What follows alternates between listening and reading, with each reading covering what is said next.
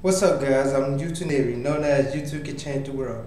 Coming to you guys, talking to you about what you need to do to lose weight and lose pound. Well, you should know that a pound equals the calories is 3600 calories equals one pound. Well, you know you don't want to gain a pound, you should not try to eat a pound a day. So break that into half. So just try to eat 1800 calories a day. Now this is my fourth time making this video and my stupid um, camera thing isn't working correctly, but hopefully it'll work correctly now.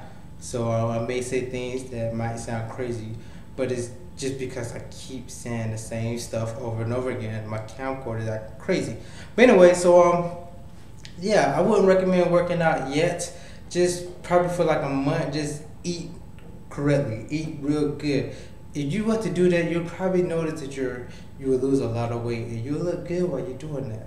So just try to do that before you even start working out. Most people that like to start working out when they're big, they want to just start working out and then eat right then. No, I would recommend eating right now and then working out later.